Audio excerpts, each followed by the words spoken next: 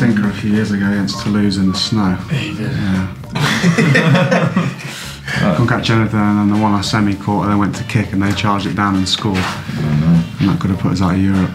Thankfully, T Flood kicked his goal, and we won. My second game for the club, um, playing against Sarries Way at Vicarage Road at the time. Ran after a ball, was about to bounce into touch, and I thought